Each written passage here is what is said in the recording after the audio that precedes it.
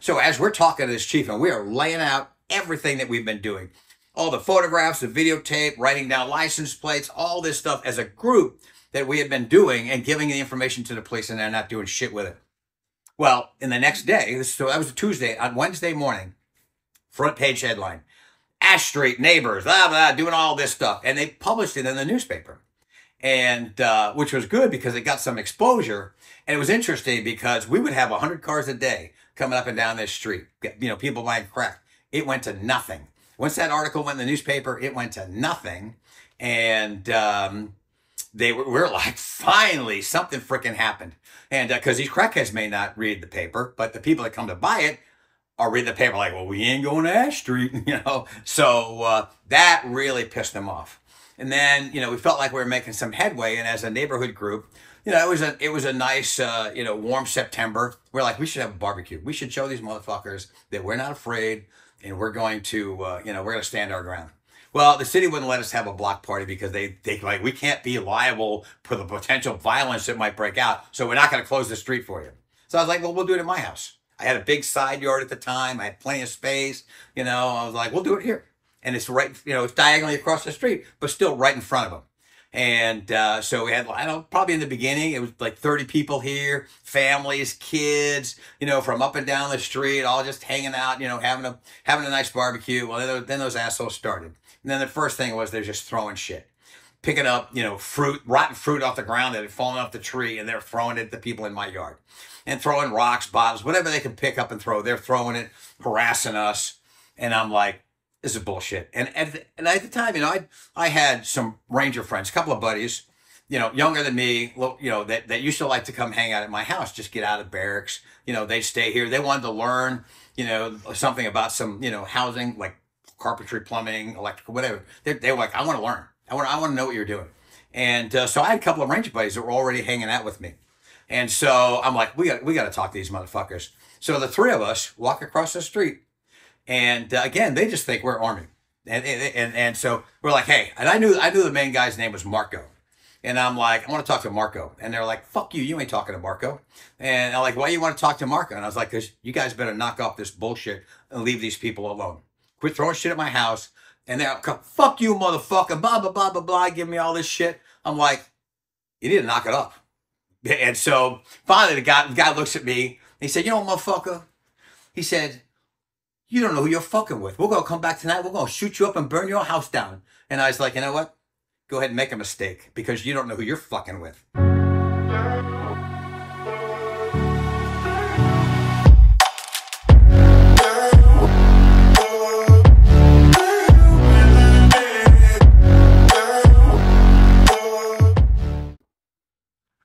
Okay, so for the audience, we're going to do something a little bit different today. Um, I'm going to interview a person here that's going to uh, introduce himself in a second. But basically, there are positions within law enforcement that don't have, you know, that aren't police officers, special agents, stuff like this, but they are vital to the job that we do. And for those people that are kind of watching that are interested in law enforcement or maybe just in general positions or what people do within law enforcement, uh, I think you're going to find this a, a very interesting interview. So, uh, with that being said, can you introduce yourself for me, please? Uh, hi, my name is uh, Bill Foulk. And uh, Bill, so a little bit, we're going to start a little bit different than I normally do with interviews. Can you tell me? So you were in the army to begin with before you began your law enforcement career, which I'm going to, uh, yeah, you know, for lack of a better term. You started in 1975 in the Army. Can you give me an idea what you did in the Army? Sure. Yeah. So, um, it uh, 1975. You know the um, well, actually, start 1974. Vietnam is going on. I was motivated. I wanted to join. I actually wanted to quit school, join the army, and go to Vietnam. But I needed my mother to sign, and she refused. She says, "If you want to go to Vietnam and kill yourself, you can wait till you're 18." I was in Rhode Island. So I was like, all right, fine. So I had to wait till I was 18. I, as soon as I turned 18, I joined the Army under the uh, delayed entry program. And then I had to wait till June to leave. Well, of course, you know, May 1975, fall of Saigon, Vietnam's over. But uh, I had a really cool recruiter. And I back then, you could enlist to go directly into SF, Special Forces. And that's what my recruiter signed me up for. So 1975, leave, go to basic training, AIT, jump school, all that crap, and get assigned to 10 Special Forces Group. And I spent four years there. It was interesting, not not quite what I expected because it was post Vietnam. Uh, there were a lot of you know not not a lot of money. Um, the training wasn't quite what I thought it would be, but you know it was still pretty good. Um, I completed my time there and then um, decided I want to do something different. I reenlisted and I ended up just by luck got assigned to 6th Air Cav at Fort Hood um, in an aviation unit, door gunner, and then I spent a couple of years there. But this, so that now this is like early 80s, and uh, it seemed like every NCO that I knew that I was working around, one or two things was going to happen at a certain point in your career. You're going to get drafted for drill sergeant, drafted for recruiting duty. And I got the letter drafting for me for recruiting duty. So 1982, go to recruiting school and I'm off to Philadelphia. And uh, I actually, I really enjoyed it. Um, my recruiter was a sharp guy. And, um, you know, he told me, he said, the, the key to success in recruiting is association brings assimilation. He said, you got to make them want to be like you. So every day I'm on recruiting duty. I look sharp. I'm in my uniform. I'm wearing all my crap and uh, sharp. So my recruiter, the guy that recruited me, was actually still on recruiting duty and a very sharp guy. And he gave me some uh, great advice that I will never forget. He told me association brings assimilation. He said, you got to make them want to be like you. And uh, so he's like, you know, make sure your uniform is sharp every day. Wear all your wear all your crap. Have all your awards on. You know, look sharp, be sharp, and uh, and make people want to be be be like you. And so uh, I had a great time on recruiting duty. You know, Philadelphia's at the time was you know still a little bit of a patriotic town, um, a Navy town, but that's okay. You know, because there were some people like I'm going in the army, but um, anyway, uh, three and a half years of that, good experience. You know, met a lot of great young men and women, you know, good families, and uh, sent them down road, down range to be in the army. Um, when my time was up, I was had to go back to big army, and I didn't want to go to big army. I wanted to go back to some type of a special operations unit, and I didn't want to go back to SF unit. So I'd always wanted to go to ranger school. So I decided that uh, that's what I wanted to do. So um, of course, back then, you know, it's like everything is paper. You know, fill out the paperwork, fill out your application. So I got got the paperwork to fill out. I um, and I was so determined I wanted to go, and I didn't want to get lost someplace. So I filled it all out. I was in Southampton, Pennsylvania. I took it to Langhorne, where my company commander was. I had him sign it. I drove it down to Philadelphia. My battalion commander, I had him sign it. And then from there, I drove it down to D.C. I found the guy at the Department of the Army, and I don't even know how I did that. And uh, um, carried it in and stood in front of the guy's desk and handed him my packet. And he's looking at me like, this has never happened. And uh, he looks at my packet. He's like, you really want to go? And I'm like, absolutely, I want to go. And he says, okay, you're going to go. And then that was it. Which I think is a very relevant story for later on when we get into kind of what you did with DEA, because that's the kind of guy you were. You just, hey, I'm going to do it, and this is the way it's going to happen. You got to make it happen. Got to make it happen. Can't rely on somebody else. Yeah. So anyway, so I waited, got my orders um, left Philadelphia, went down to Fort Benning. I had to go through, for me as an NCO, I had to go through RIP, pre Ranger, and Ranger School consecutively. No stops, no failures, everything had to go. And so, fortunately, I mean, it was hard. It was like six months of hell, but, you know, I completed it. Uh, Ranger indoctrination program, moved on to pre Ranger, three weeks of that, completed that, went on to Ranger School. And, uh, that was, it was good, good. Except the first, maybe the first day wasn't so good because as an E6 NCO, non-commissioned officer, I just want to blend into the woodwork. I want to be a snuffy. I want to be a nobody. But unfortunately, first day of Ranger School, I'm assigned as an admin squad leader for my squad.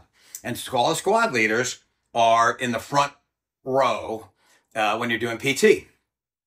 So I'm like, not, we're knocking out push-ups or something. So this young E5 Ranger instructor gets in front of me and he looks at me and he said, I bet you're an officer, aren't you? And I said, no, Sergeant. He said, What are you? I said, I'm a staff sergeant. He said, he said, Where'd you come from? And I said, USAREC. And he said, What the fuck is USAREC? And I said, Recruiting Command. And he said, Are you a fucking recruiter? And I said, Well, I was, Sergeant. He said, Oh, come here, you fucking recruiter. I got something for you. And he takes me over to the side with these other Ranger instructors, and they're just trying to smoke me You know, they're just, I mean, like I'm, I'm surrounded like five of them and they're just trying to smoke my back. Get up, get down, do push-ups, do this, roll over, do flutter kicks, blah, blah, blah. you know. And so, um, anyway, I, you know, I was like, I, I know the game. It's just a mind game, you know. So I put up with their shit back in the formation and, um, and on it went. But, you know, so it was really, that was kind of funny. Yeah. So don't ever say, I'm from USAREC. You know, make up some other bullshit. You know, I would have been better off saying, well, I was a cook. You know, so no.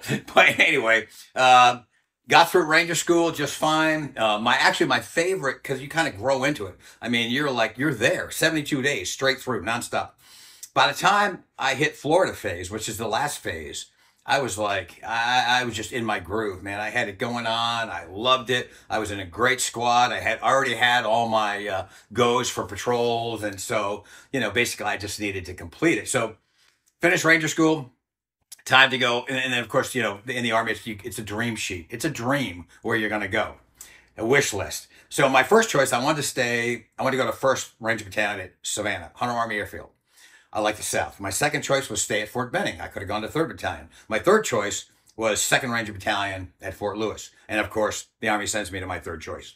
And uh, so I get I get up here at my side. I'm a second squad leader for for third platoon alpha company i'm an earth pig or if you know like you know that whole ranger thing and um, i loved it i great, had a great squad um, i did that for a few months and then uh, moved up to become the weapon squad leader so i had three great gunners m60 machine guns humping the pig and uh, you know ags and uh, we did had multiple you know training deployments together live fire exercises and it was great and uh, but it was kind of funny you know, the big deal around here is Mount Rainier. I got here in November. I never saw the mountain until March because either, you know, fog, rain, clouds, deployments, whatever. I mean, I'm like, I keep, keep talking about Mount Rainier. I'm like, what mountain? What mountain? And then finally one day the sun is out and I was like, oh, that's what they've been talking about. Yeah. So after a couple years in Alpha Company, you know, for a lot of NCOs, you know, they've got staff positions they need to fill, and uh, so I got the I got the nod from the sergeant major. Hey, I'm bringing you over to headquarters. I need you to do this job. I'm putting in training. I want you to do this, and you know, whatever. And I'm like, okay, okay, good. But uh, interesting thing that actually had had good cons- consequences later, and I think the uh, the commander or the sergeant major liked the way I interacted with other people. So they decided to make me the spokesperson for the Ranger Battalion. So anytime visitors would come, whether it be politicians, educators, you know, other military people, whatever, I'm the meter, the greeter. I'm the guy that takes them around, talks about the life of a ranger, and uh, walks them around battalion and answers all their questions and that kind of thing. So it, it was kind of fun, but um, the uh, that there was a benefit to that, which will come later. But um, I got to meet a great guy like James Altieri, had written several books about Darby Rangers, um, you know, from World War II. All right, so uh, I, I get to battalion in November 1986, January 1987. I want to I want to buy a house. I want to get off post. I want to get out of the barracks. And uh, so I went to a realtor in Lakewood, and uh, I asked him for you know a list of houses for sale, and I wanted something pretty inexpensive. Well, the cheapest house on the list was $10,000. So I went there first, and that was this house. I pull up, and the house is just a shell of a house. It's condemned. There's no windows, no doors, no plumbing, no wiring. But the houses around it are pretty decent. You know, it's an old neighborhood. This house was originally built in like 1910. And so I come, I walk in, I look around, I like the style of the house, I like, you know, the old molding, and I can visualize the possibilities here. And uh, so I was like, I'm going to buy it. And uh, so $10,000, I buy the house and uh, start working on it. Of course, I'm working on it between deployments, between training, between all the other crap that's going on. But I'm here working, you know, trying to secure the house, windows and doors. And uh, my neighbor next door, Ruben, had ran an extension cord over to the house because he was so happy to see something happening. He, he let me have power for months. And uh, as soon as and I did all the work myself. I got all the permits myself. I did the plumbing. I did the wiring. I did everything, the building permits. And uh, back then, City of Tacoma was super easy to work with. They, the permit process was easy. The inspectors were awesome. It sucks now, but back then it was great. So anyway, as soon as I had a functional bathroom, not even a finished bathroom, I had a toilet, a sink, and a shower, good enough to use. I moved into the house and I started living here.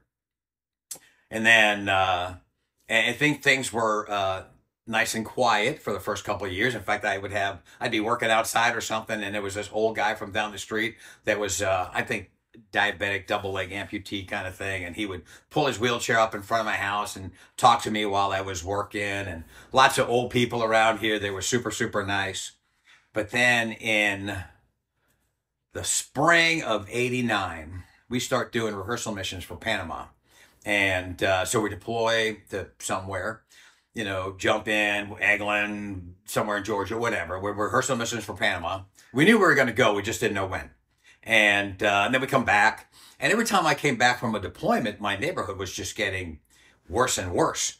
There was this house down the street, had all these black gang members down there, and it just like hooping it up and cars blocking traffic. And I asked this girl down the street, I was like, hey, what's up with this house down here? And she said, oh, those are Crips. That's a crack house. And I'm like, I didn't even know what the hell that was. I didn't, I didn't know what a Crip was. I didn't know what a crack house was. You know, so my attitude in the beginning was, don't fuck with me. I won't fuck with you.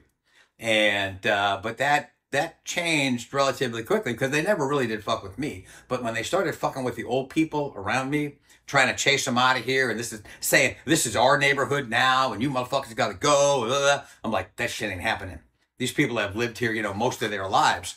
So I got with my neighbor next door, Ruben, who was a retired Air Force guy, and I'm like, we got to do something about this shit. And so he's like, hey, I got I got a video recorder, we can do this. And I had I had a view, he did it. So we set up a camera in my upstairs window, watching this crack house, recording all these transactions, and uh, calling the police. And it was insane because we could have pictures of video of these guys doing this hand to hand. You could clearly see the little baggie and you know going in and the cash coming out. And the police are like well we can't do anything about that. I'm like you know they the the the the, the, uh, the um, attorneys won't prosecute it. I'm like well he's like we can't prove it's correct i'm like you gotta be shitting me. They're not selling fucking avon man. Come on give me a break. It was so stupid. It was absolute bullshit and uh, anyway you know, we we would uh, the one time during the summer I can remember sitting out here July talking to Ruben on my front porch, and there had been earlier in the day there had been a gang related shooting, Crips and Bloods. So Bloods are in another part of town, the Crips are over here. And they had this, of course, just like bang, bang, bang, bang, bang, bang, you know, shooting at each other, just rounds going off wherever. And uh, usually the police would never respond. You call 911. You know, is the shooter still there? No. You know, did you shoot the shooter? Yeah.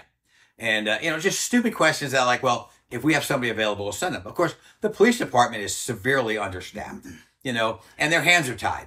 Um, so this July day, police finally showed up, two patrol cars. I, I watched the guys get out of the car, walk across the street, and they're talking to these gang members. And oh, I can hear them. These gang members are like, fuck you motherfuckers, why don't you fuckers get out of here? And blah, blah, blah, blah, blah. Don't you fucking come around. We're going to do what we fucking want to do. Blah, blah, blah. You know, I'm like, oh shit. I grew up in Rhode Island. You don't look cross-eyed at a cop. If you do, you're getting knocked upside the head, put in cuffs, and hauled downtown. So I'm thinking to myself, oh man, these guys are going to go. They're going to haul their asses out of here. Nothing. The guys walk back to their car uh, and they just left. left I, I was like, what is that? And I, uh, so I walked up, to, I went to the cop and I was like, what is that bullshit? And he said, there's nothing we can do. I'm like, fuck that. And I said, what about that? You know, I, I said, the way they talk, he said, freedom of speech. I'm like, fuck that. That's not a freedom I sport to defend. You know, that's bullshit. And, uh, and the guy explained to me how there was nothing that they could do based, based on department policy, you know, city politics and the bullshit that was going on here. Their hands were tied. It was pretty fucked. And so then as, as, as, a, as a neighbor, somebody thinks, you know, hey, the police job is, you know, support and defend. There's no defense here. So uh, it was it was shocking. I just couldn't believe this is the kind of crap that was going on. And I ended up hearing the same story from a lot of other policemen. Well, things kept getting worse. I'm still deploying, come back, deploy, come back. And uh, by sep- by uh, early, well, all, late August, early September, things were really shitty. And uh, they would have four cars parked across the street, completely blocking the traffic and like, like not letting people through. So people couldn't get to their houses. I mean, they're just loud, you know, try, intimidating, you know, people. And uh, it, it was pretty fucked up. So in early September, they were having a community meeting at the People's Center. And uh, Fortunately for me, I was in town, got my neighborhood group together, and we all went to this meeting. And uh, Ray Fjetland, who was the chief of police at the time, was doing this presentation to all these neighborhoods, talking about the problem. It, it, he's just a politician. He's just like, you know, total BS. Everything he said is just trying to, you know, like, oh, it's not that bad, and we're doing this and we're doing that. I was like, you're full of shit. And uh, so when it finally came to the question and answer time, I had the opportunity, and I knew the answers already because I had already been down and talked to the crack abatement team. I had taken pictures that I had photographed right here, these guys doing drugs. I had taken pictures. One picture, I had nine gang members in this picture. And the guy looks at me and he said, Yeah, yeah, I know these guys. And five of the nine had warrants. I'm like, Well, go get them. They're right there. They're not hard to find. Go arrest them. He's like, We can't because there's no room in the jail. I said, So I got these fuckers on my street because you can't lock them up and put them in jail. Uh, like, this is just insane. So, anyway, but he gave me all the information. So I go, I asked the chief. I was like, you know, I'm trying to pin him down. How many crack houses are there? Oh, you know, there's this. I was like, I was like, there's 1,300. So I gave him the answer. And he's like, oh, well, well, well there is over a thousand. He wouldn't admit it, but there's 1,300. 1,300 crack houses in the city of Tacoma in, you know, 89. And, uh, and they talked about, you know, they had eight man crack abatement team you know, trying to shut down 1,300 houses. And he starts spouting this shit off about, well, you know, we shut this down and shut this down. I was like, did you shut them down or did they move? And he's like, well, yeah, that's a problem. They usually just relocate. So they're not, they're not doing shit. But, uh, so I made him uncomfortable enough that uh, he decided that he wanted to cut my group from the herd. He's like, you guys, you guys got to go, go, go. So he's made next year. He's like, hey, I want you to go meet with my assistant chief in that room over there and get us out of there. And so uh, we pick up our shit. We go, we move into this other room with one of his assistant chiefs. Well, I didn't know, but somebody that came in there with us was a reporter from the News Tribune. So as we're talking to this chief and we are laying out everything that we've been doing, all the photographs, the videotape, writing down license plates, all this stuff as a group that we had been doing and giving the information to the police and they're not doing shit with it. Well, in the next day, so that was a Tuesday, on Wednesday morning, front page headline Ash Street neighbors, blah, blah, doing all this stuff. And they published it in the newspaper. And, uh, which was good because it got some exposure. And it was interesting because we would have 100 cars a day coming up and down this street, you know, people buying crack. It went to nothing. Once that article went in the newspaper, it went to nothing. And, um, they were, we are like, finally, something freaking happened. And because uh, these crackheads may not read the paper, but the people that come to buy it or read the paper like, well, we ain't going to Ash Street, you know. So uh, that really pissed them off. And then, you know, we felt like we were making some headway. And as a neighborhood group, you know, it was a it was a nice, uh, you know, warm September. We're like, we should have a barbecue. We should show these motherfuckers that we're not afraid, and we're going to, uh, you know, we're going to stand our ground. Well, the city wouldn't let us have a block party because they they like we can't be liable for the potential violence that might break out. So we're not going to close the street for you. So I was like, well, we'll do it at my house. I had a big side yard at the time. I had plenty of space. You know, I was like, we'll do it here. And it's right, you know, it's diagonally across the street, but still right in front of them.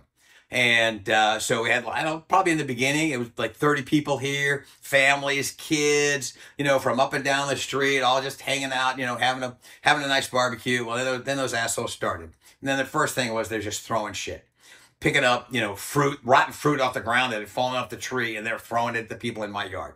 And throwing rocks, bottles, whatever they can pick up and throw, they're throwing it, harassing us. And I'm like, this is bullshit. And at the, and at the time, you know, I I had some ranger friends, a couple of buddies, you know, younger than me, you know, that, that used to like to come hang out at my house, just get out of barracks. You know, they'd stay here. They wanted to learn, you know, something about some, you know, housing, like carpentry, plumbing, electrical, whatever. They, they were like, I want to learn. I want, I want to know what you're doing. And uh, so I had a couple of ranger buddies that were already hanging out with me. And so I'm like, we got, we got to talk to these motherfuckers. So the three of us walk across the street. And uh, again, they just think we're army. And, and, and, so we're like, hey, and I knew, I knew the main guy's name was Marco. And I'm like, I want to talk to Marco. And they're like, fuck you, you ain't talking to Marco. And I'm like, why you want to talk to Marco? And I was like, because you guys better knock off this bullshit and leave these people alone. Quit throwing shit at my house and they're like, fuck you, motherfucker, blah, blah, blah, blah, blah, give me all this shit. I'm like, you need to knock it up. And so finally the guy, the guy looks at me. he said, you know, motherfucker, he said, you don't know who you're fucking with. We're to come back tonight. We're to shoot you up and burn your house down. And I was like, you know what? Go ahead and make a mistake because you don't know who you're fucking with. and and then we walked away. And I, and, and most of the time, and encounter these you know guys during during the year, it's when they met up with some resistance, they would usually back down, which is kind of what I expected. And uh, but for some reason, you know, they they they felt emboldened that day, and uh, they weren't backing down. So we kind of watched. Oh, and the interesting thing again, back to my job as the spokesperson for the battalion. I had a business card from a reporter from the News Tribune because of the impact that that article made. So I called this guy up, had his business card because I met him at battalion. I called him up, Dan Voelpel. And I'm like, hey, Dan, this is Bill Foulk, you know, Army Ranger, blah, blah, blah. We met at the, he's like, oh, yeah, yeah, I remember you. And I said, hey, I said, uh, you know, I said, you might not know this. I said, but did you, you saw the story about Ash Street? He said, oh, yeah. I said, well, I live there.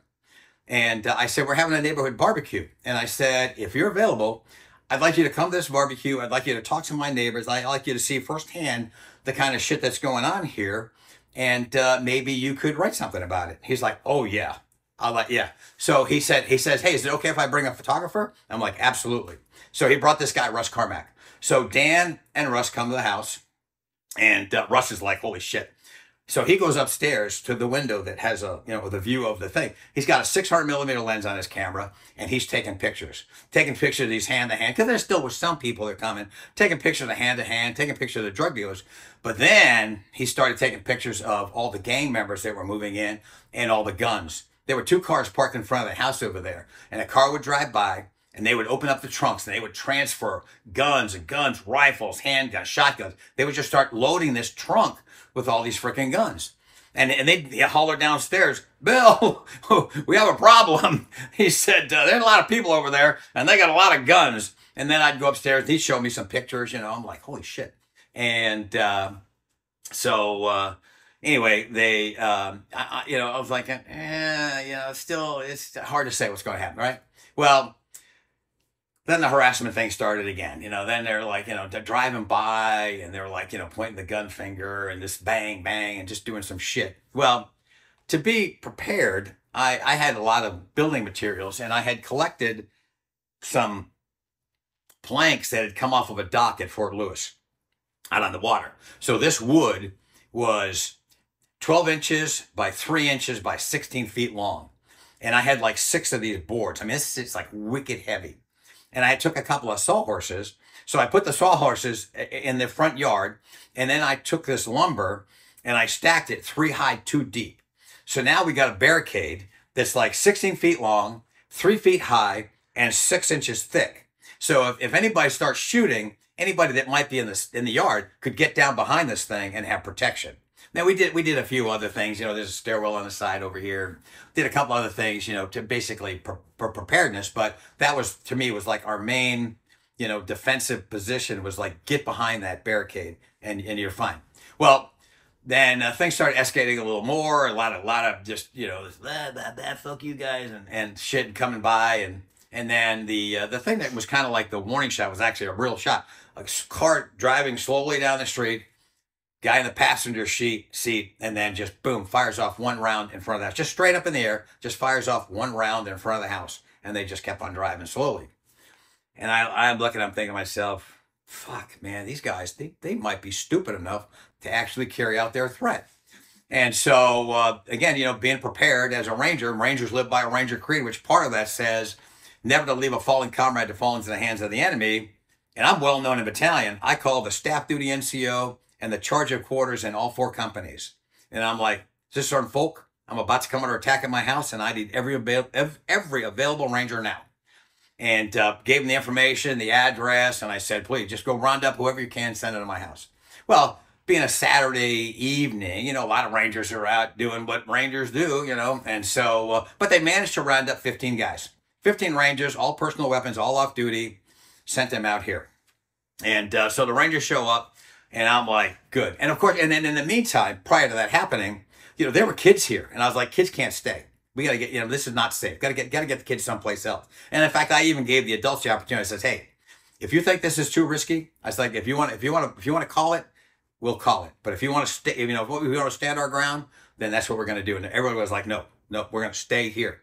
And so I'm like, okay. So when the Rangers showed up, and of course, a lot of the civilians are armed, they got their own guns. And uh, but my plan was to be I wanted to pair the Rangers with the civilians. because I figured that was our best chance of, you know, of success if we did get attacked. And uh, and I told the Rangers, I said, look, while you're while you're paired up in these positions, talk to these guys about, you know, target acquisition or squ- trigger squeeze or any you know anything you want. Try to mentor them, you know, so that they're a better you know companion partner in in your position. And uh, and the Rangers were like they were they were like totally into it. They were like absolutely. So and it was really funny. There was this one. Um, most of the women stayed in the house, but there was one neighbor down the street, this black gal, Shirley Luckett, little short black lady. Man, she was a pistol, funny, and uh, so finally came around, and uh, you know, I, I guess people just assumed that she was going to go in the house, and she's like, "I'm not going in the house. I'm staying out here with these rangers." I got my own gun and that, that, So, you know, she just, she was like just hung out and, and, and just great woman. And uh, so she hung out, she got into position and she was working with a ranger and, you know, that, that was kind of how it went. Well, things stayed pretty quiet. You know, everybody's in positions. I mean, these guys, these guys were prepared. They actually built a sandbag fighting position up in the back corner on the alleyway. Yeah, because we had a little time. These guys were like, we're, we're bringing sandbags. And uh, I thought that's pretty cool. And uh, so anyway, things were relatively quiet until about 9.30 and then things got like really quiet. And uh, I, I can remember i'm walking around in the front yard out there and then all of a sudden man it's like it's like being on a military firing range where somebody says commence fire! and it's just pow pow pow pow pow pow pow pow from every direction. And uh, just you know just dozens and dozens of rounds going off. And it's kind of funny you know these are craftsman style houses. Well my house and my next door neighbor's house ruben basically same style built at the same time. You know, my house was a light tan color. His house was a light purple color, but in the dark, they look the same. And so, I mean, I could hear bullets smashing the house, hitting, you know, like glass breaking, whatever, but I can hear the same thing over there. So Ruben's house got shot the shit as well as this one. And they were shooting from basically all sides. And they, but they're using, they're not, they're not, they're just shooting. You know, they're just like pointing a shooter. They're hiding behind houses or cars or bushes or trees, whatever. So the, the Rangers, I told them, I was like, look, you know, don't shoot unless you have a target. You know what? And if you do have a target, if you see a muzzle flash, shoot in the direction of the muzzle flash. Don't let them advance on us. And uh, so that's kind of how it went. So you know, in the in the news report, 300 rounds fired, not 300 rounds fired by the Rangers, 300 rounds fired at the Rangers by the gang members. And there were Rangers that returned fire when they had the opportunity. And and despite you know what the report says, there were three bang gang, three gangbangers that got shot. One got shot right out here. First guy got shot right out front. He was he came from behind this old Granada that was parked out there, and he starts to run across the street. And my buddy laying in a prone out there, Bill Alexander, who I verified the story with, he was laying in the prone, 45, and shot the guy and I hit him in the shoulder and he went down. And um, so, uh, you know, it, it, it's kind of funny. And then two other guys got shot in the in, in the back in the alleyway back here. But uh, so when the police came, you know, when the, the first first car on the scene, flying down the street, and uh, lights and sirens going, windows down because it's hot, and, and we're like immediately we stop. We're like lay your weapons down, whatever. We immediately stop shooting. But the gangbangers did. And so this guy is like, it, had, it was like a scene from Die Hard. He's kind like, bam, bam, bam, bam, bam. And all of a sudden, this guy's like, screeches to a halt, bangs that thing in reverse. And he's like, burning rubber back down the street, spins it around in the intersection and gone. And I stood out there and look, I was like, oh shit, there goes the police. Now what do you go? Pick up your guns. So, uh, so then we wait. And uh, shooting is still going on. And uh, I decided to, to move from the front to the back to see what was going on back there. And then, and then I, I, things all of a sudden got quiet. And I was like, what the fuck? And then so I, I step up into the alleyway. And the next thing I feel is some guy on my back. And I'm like, boom, down to the ground. And then the shooting started again. And, and so and I knew it was a cop. And uh, that he was the one that hit, you know, basically took me down to the ground. And uh, and the shooting started. And I was like, hey, hey, you better tell your guys to watch out, stay down. I said, these guys are shooting at us. And and he's like, and he, he was a guy that was knew the area. And he's like, and, and so I try to explain. He's like, what the fuck's going on? So then I tell him. And he's like, well, who the fuck's in charge around here? And I said, well, I guess that'd be me. so so this is happening a very very quick conversation so he gets on the radio you know tells his officers what's going on because he knows you know and um, we end up getting the, the rangers all kind of like migrated back into the yard and the police officers started moving and chasing all the gangbangers decided to run down the street and they were running toward a park down there well the thing about the park is it's like one way in one way out you know you can't get out the other side because there's a cliff and uh, so the police end up chasing all these gangbangers down there. They've got them rounded up in this park, and there's probably like 25 of them or whatever. And um, and then uh, you know, there's a guy, there's a guy here that's like, you know, it's like, all right, let's talk. What's going on? And so he talks to some of the neighbors. He talks to me, and and so myself and and one of the other rangers are walking around with him and kind of telling, trying to explain what's going on, how it's happened, and where we were, where they were. And uh, and I told him, I was like, there's a guy that got shot right there, and then a person got shot over there, and a guy shot in the alleyway right here. And he never left the yard. He looks out there and he said, Yeah, well, I don't see him now, so we're just gonna call that a zero. And I'm like, okay. You know, so maybe I think in a way he was doing us a favor, but in a way he was not because, you know, that didn't report well when the Rangers got into a, you know, a 10 minute gun battle and didn't shoot anybody, but they actually did. So, uh, but that's how the official port went, and it, you know, it's just whatever. So, um, anyway, we walk around with them and kind of explain it. Things are settled down. They've got all the uh, gang members down the street, and uh, and of course these are all these are all people that we know who they are. But then the police come down and they're like, "Hey, we need you guys to go down there and identify them." And unfortunately, you know, Rangers have integrity, and we're like, I never saw any faces. It's one guy saw one face, and that was it.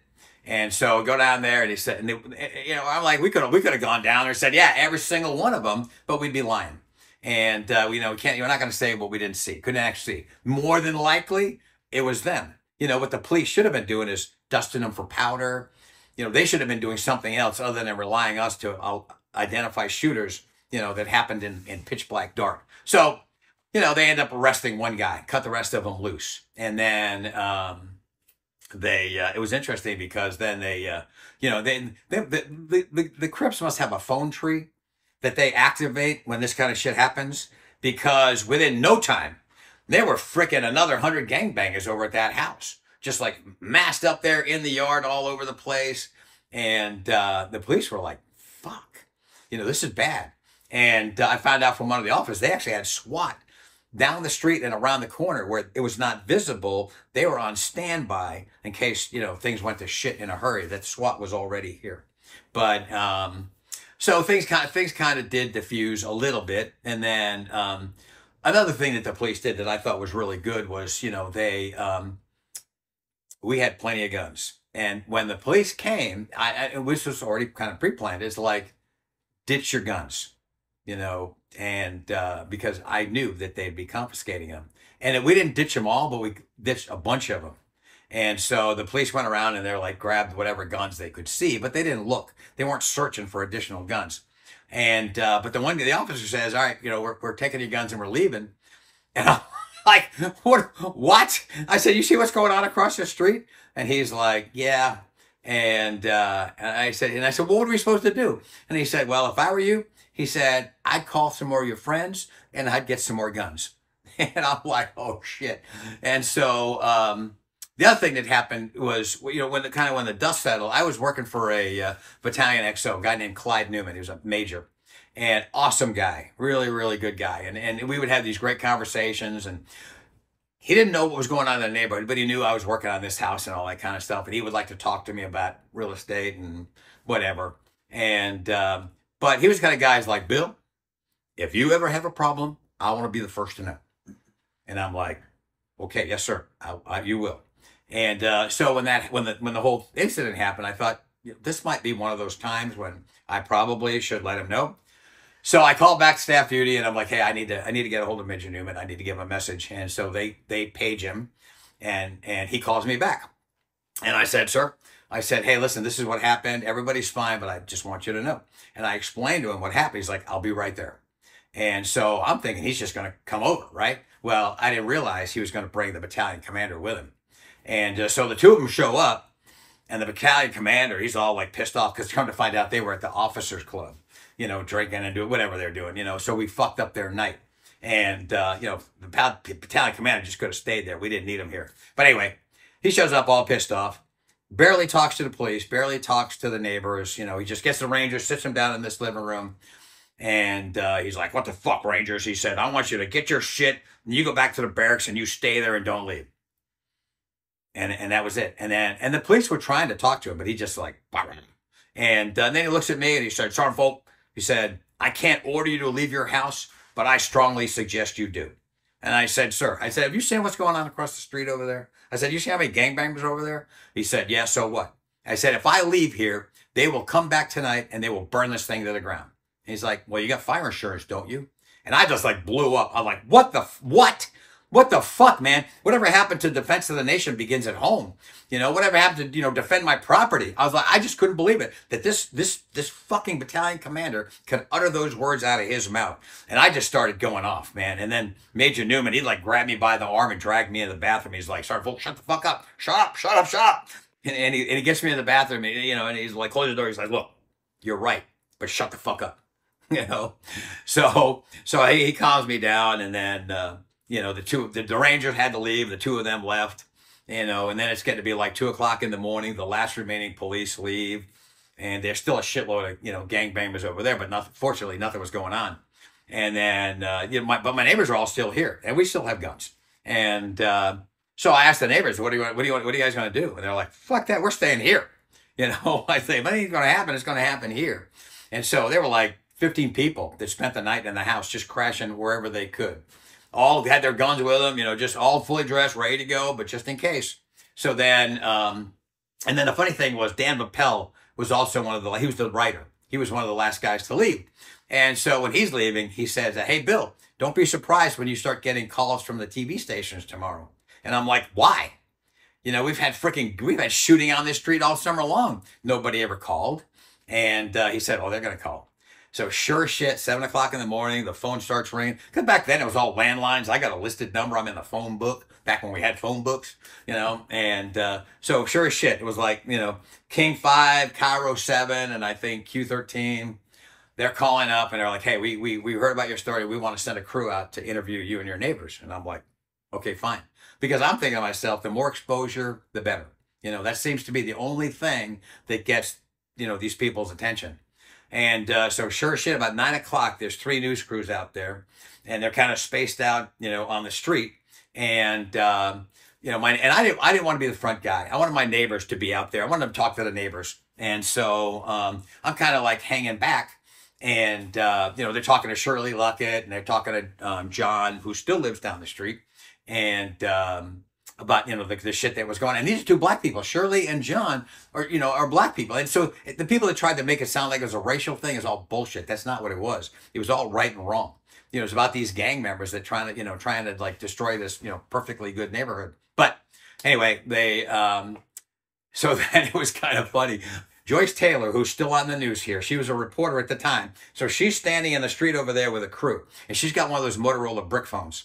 And I'm watching because I'm standing back in the yard while while these other people are being interviewed, and the door of the crack house opens up. And then all of a sudden, these gang members start, you know, piling out of the house, like, blah, blah, blah. and I see her look, and she's got this look on her face, like, oh shit. And I could see, you could clearly see what she was doing. Bang, bang, bang. 911 gets on the phone. So she called 911 immediately as soon as they started coming out of the house, and then made the call, hung up, whatever. And then they freaking migrate their way down here, and then they try to like, these motherfuckers started it. They shot at us with Uzis and AK-47s and blah, blah, blah, and all this bullshit, you know. And then a fight breaks out between Shirley and Renee, these two women. They, this fight starts right, and women are brutal. They're like going at it, you know. And all then all of a sudden the guys jump in, and now we got this freaking brawl going on in the street out front. And um, you know, unfortunately, it didn't last that long because once, once it was weird. Once the fight with Shirley and Renee got broken up, then it all kind of broke up. But uh, but still, there was a fisticuffs fight out here. This is the morning after, and uh, it took 27 minutes for the police to arrive when Joyce Taylor made the call. And that so that didn't go well. That was not a good thing. So, you know, the night before, you got a friggin' gun battle going on, and it takes the police 27 minutes to show up the next morning, you know, when there's a fight erupts. So after the fight, all the gang members went back to the house, and you know they kind of calmed down. Fortunately, I think very fortunately, nobody nobody brought a gun that morning. You know, because if, if if if that had happened, that had been that would have been really ugly. But you know, they didn't bring any guns. We didn't have guns, so it was just a fight.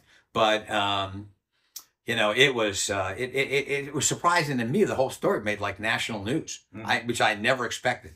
And um, you know, they. Uh, um, but what was really I didn't expect was the army's response.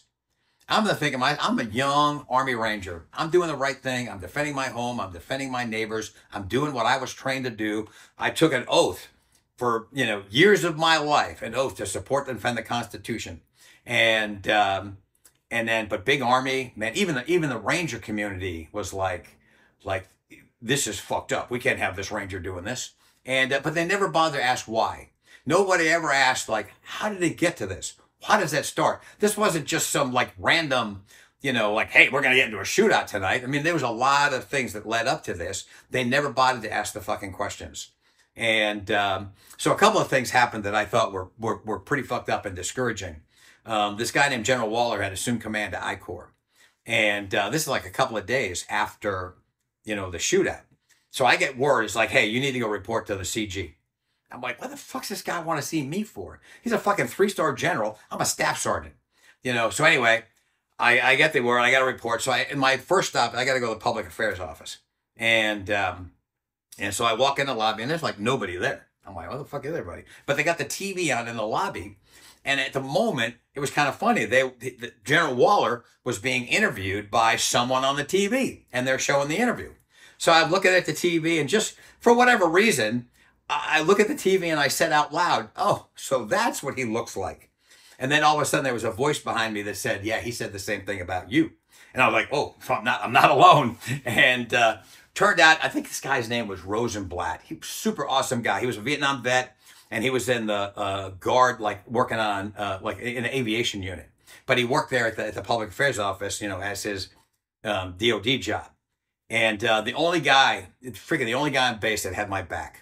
He was the only guy that would call me up and warn me when heat rounds were coming or when they were trying to ambush me or some other kind of shit. So I'm very, very thankful to that guy. But um, anyway, I got to go report to the CG. And, and, and, and walking in, it's exactly what I would expect. You know, some mahogany row, and you got this great big conference room and this huge table. And the general is sitting at one end of the table and there's an empty seat at the other end.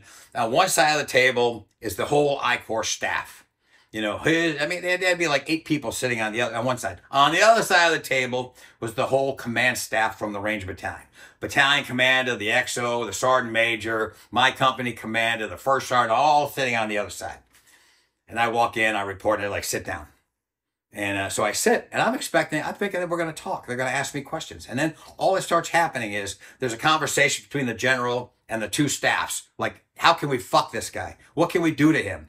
You know, how can we get him out of the army? How can we get him out? And and and fortunately, the JAG is sitting in there, and every time they came up with some fucked up scheme, the JAG's like, you can't do that. You can't do that. You can't do that. You can't do that. You can't. And they're like, the, the JAG is like, you know, there's nothing you can do, and uh, which really pissed them off. And so um, finally, they just the general says, all right, you know, and then I think with the advice of the JAG, they're like, well, just leave it a civilian matter. It happened, you know, it was a civilian matter. It happened off base. It was off duty. Leave it as a civilian matter. Don't don't get don't get the army involved. And so the general like, all right, sorry, folks, that's what we're gonna do. We're gonna leave it as a civilian matter. Do keep the army out of this. Blah, blah, blah. I'm like, that's I never intended to bring the army into it, you know. And so uh, I get dismissed and I leave, and I'm starting to walk down the hallway, and then like just within a couple of seconds, all of a sudden, there's this voice behind me, Sergeant Foulk, and I stop and I turn around. I'm like, it's a colonel. And it turned out he was he was chief of staff, and uh, I'm like, yes, sir. And he's pissed off, and I I could tell by his uniform he was a Vietnam vet, and he's pissed off, and and um, you know he looks at me and he says, Sergeant Foulk, he said, I just want you to know you can forget about ever getting promoted, and I'm like, why is that, sir? And he said, because you've become too well known for the wrong reasons. And I and I look at him, and I said, sir, if these are the wrong reasons, I'm in the wrong job. And I turned around and walked away. And, uh, and I thought, how, how fucked up? What a fucked up thing to say. And, uh, and I, and then of course I'm thinking to myself, how can this 06 back here at Fort Lewis have any influence over my career that's managed by a ranger branch at Department of the Army. I was like, I just like this. This can't happen. Well, you know, so the this of course you know this this, this is uh, end of September time frame. Bam, we're deploying again in October. You know, another rehearsal mission for Panama. I'm trying to put all this shit behind me. I'm just want want to move on, forget all about it, and um, um, do do a couple rehearsal missions back and forth again. Everything seems to be fine. We're down at Eglin. We're doing final rehearsal mission. We think we're going. We're ready to go, and uh, to invade Panama. They sent us home, and we're thinking, what the heck? What the fuck? And uh, within 16 hours of being on the ground, bam, we get the notification we're deploying, and uh, get your shit back in, back on the bus, back on the plane, back to Georgia. You know, this time it's for real. Live ammo. You know, all the whole the war pallets are broken out. We're getting our shit. We're going to Panama. And uh, I was like, oh, finally, you know. so, second battalion jumped in on Rio Hato, which was friggin' pretty intense jump, you know, because we're jumping in under fire. You know, we, we were probably in Rio, Rio Hato. The first night was pretty intense battle with the PDF, and then uh, we were we were Rio Hato for about a week, and then things settled down, and then after that they decided to deploy us on um, security missions because basically there was the government of Panama was done no law enforcement, no real government. They, they were trying to reestablish it, but nothing. So we were basically security. We were the ones keeping the peace. But what's interesting is the the Panamanian, Panamanian people. I love them, and they loved us. They were so happy to see us that uh, it, it was really, really a good experience. Unlike, unfortunately, like for other service members that may have gone into other foreign conflicts where the people were not so friendly, Panamanians were great. And so good experience. So, you know, we come back, I don't know, I think it was like March time frame. And uh, again, you know, I'm like just trying to get back to business. And then, you know, my first sergeant tells me, hey, Sergeant Foulk, you're coming out on the ANOC list. And I was like, thank you. And uh, I'm thinking that ANOC is like you go to ANOC, Advanced Non-Commissioned Officer Course, you get promoted to E7. I'm moving on. I'm moving up. I'm moving on finally. So a couple months go by and I'm like, hey, um, so when am I going to ANOC? He says, I don't know. Let me find out. And then calls me back into the office at the end of the day, all fucking pissed off. And he's like, You're not going to ANOC. You were never on the ANOC list. Blah, blah, blah, I'm like, First time. And he's like, Get out of my fucking office. And he was all pissed off. So somebody, somebody got to it. Somebody fucking kiboshed that thing and must have fucking gave him an ass chewing because he had told me that I was on the list. But that's the way it was. In the Ranger community, they always let you know. So that happened. I came, I came, I got uh, orders to go to the uh, Ranger Training Company at 25th Infantry in Hawaii. I'm like, fucking awesome. Sold my truck, bought a car, little convertible. I'm going to Hawaii. I get prepared to go. You know, a few weeks before, they delete those orders. And I'm like, it was just one thing after another after another, just getting fucked.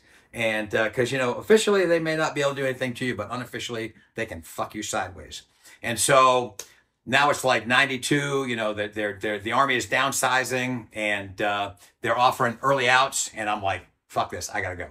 And uh, i could see the writing on the wall. So i had the opportunity like put in put in a packet. I was like i gotta go. Okay so a couple questions for you. Yeah. Just one question i have as far as the shooting. When you said that that cop tackled you out in the back what the hell was that about? Why did he tackle you well, because he didn't know who we were. I mean, it's, he, you know, he did, he did, he did, he didn't know who I was. He just knew that there was a shitload of shooting going on. Okay. And I'm just a body in the alleyway. Is he trying to protect you, or is he was he going to arrest you? What was he? Oh, I think it, it, depending on who I was, he would arrest. If oh, I was okay. a gangbanger, he okay. would have arrested me. Okay. Oh yeah, absolutely. Yeah, yeah, yeah. Okay. But, but, I was not. Yeah. Okay. Yeah. All right. Yeah. So let's yeah. so let's let's move on a little bit. So okay, in, but, in '92, you get out of the Rangers. How old are you? Um. Uh, uh, let me see, 30, like early, 30s. Okay. Yeah. Okay. So I know the position that you end up with DEA. Yeah, but but, but there but the, but there's a there's there's in, in, the in the process of there's some I wanted to tell you something. Yeah, yeah. In, go ahead. In the go process ahead. of getting out of the army and then how I ended up with DEA. Okay, go ahead. Okay, yeah. So I'm getting out. I'm being released, and I was pretty pissed. I was discouraged because I loved the army. I love. I mean, I it was where I was meant to be, and um, so all all the fucked up shit, of the stories that go along with out processing in the army, everything was happening to me. You know, when you go through central issue facility and they issue you all that bullshit equipment, everything they gave me went into a duffel bag. Duffel bag went into a wall locker. Never touched that shit.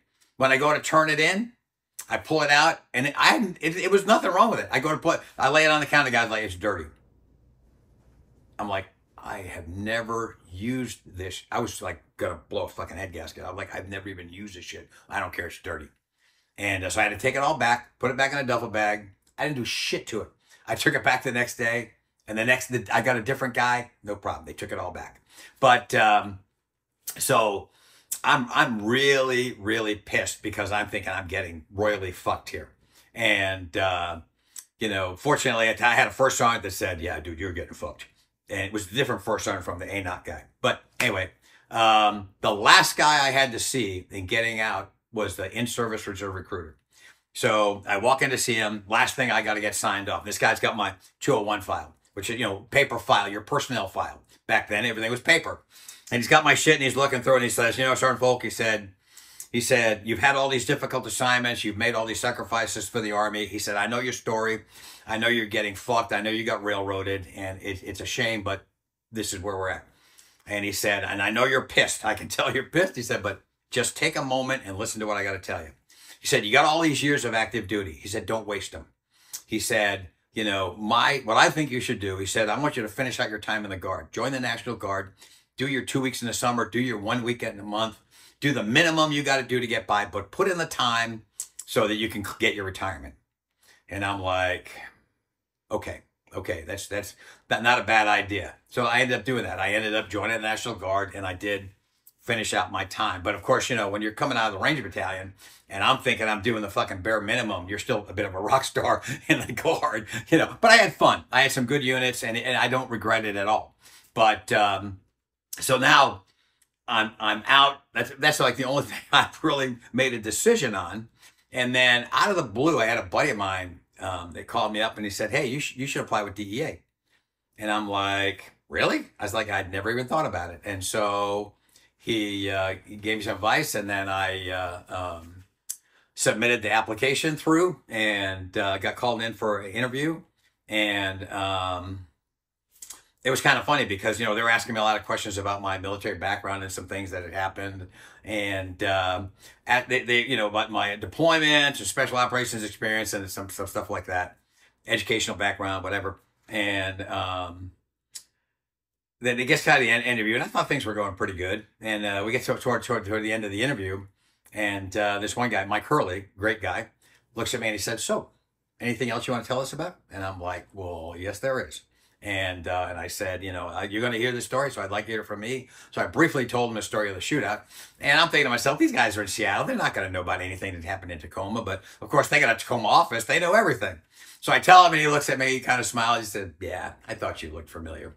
And then I thought, oh, I'm, I'm fucked. You know, I'm thinking that you know it's just like going to be like Big Army, and you know they're not going to like it. And and uh, but you know, fortunately for me, you know, the guy called me up and he said, uh, "We're going to bring you on board." You know, I want you in my group. We're going to do this and that, and kind of, you know, pave the way for me to to start at DEA. So, and, so, but Bill, did you for, when you're applying for the position? Are you applying for a special agent position? No. Okay, so why not?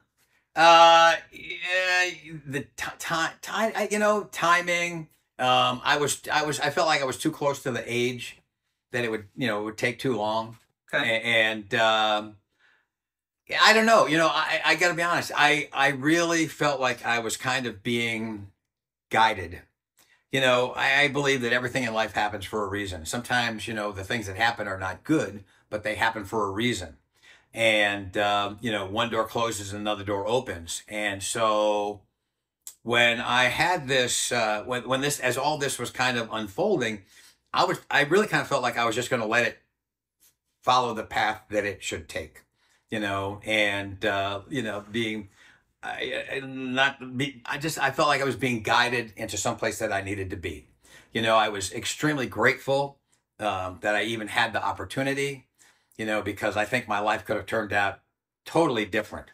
Uh, you know, I think that I, there was a purpose for me to be there, and so um, you know when I got the uh, when I got the nod that they were going to let me start, you know, I I knew immediately you know, that this this is where I was meant to be, and that I was not. I was I was grateful for that job, thankful I had that job every day, and I felt like I'm going to make this worthwhile, and uh, you know, do the absolute best job that I can. I'm never going to take this job for granted, and uh, I was thankful to be there because after being fucked by the army so bad, which I loved, and now to have this opportunity, um, it was just it, you know, to me it was it was meant to be.